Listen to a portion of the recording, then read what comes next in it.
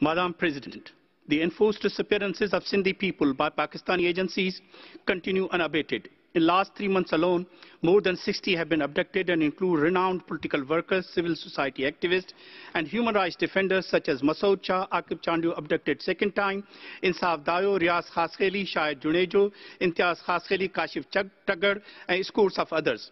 The abducted include 15-year-old child Bashir Shar and over 70-year-old Bachal Shah, whose two sons were extrajudicially killed by the agencies not too long ago. Sadly, a tortured body of previously missing Niaz Lashari was found on 16 June. In abducting people, the security personnel from ISI, MI, Rangers and police used terrifying force, break and ransack houses, beat, torture and humiliate occupants, including women, children and elderly. The Pakistani agencies are using enforced disappearances as a tool to spread terror, to ruthlessly silence any voice and struggle of Sindhi people against the intensifying onslaught of Pakistani state on their political, economic and human rights.